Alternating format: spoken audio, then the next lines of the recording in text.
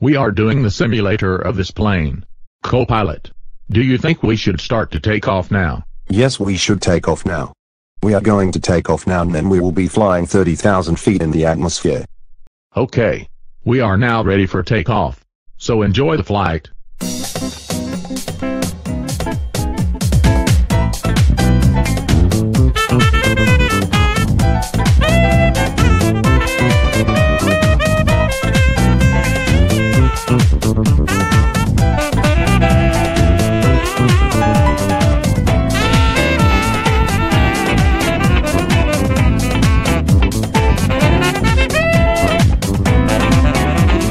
Three hours later.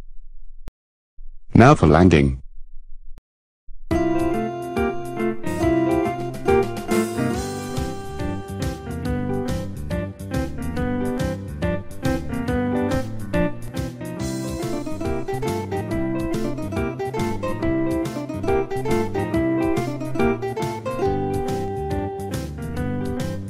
We landed safely. It was really interesting that we did this plane simulation and the fact that we went 30,000 feet in the atmosphere. I agree with you co-pilot.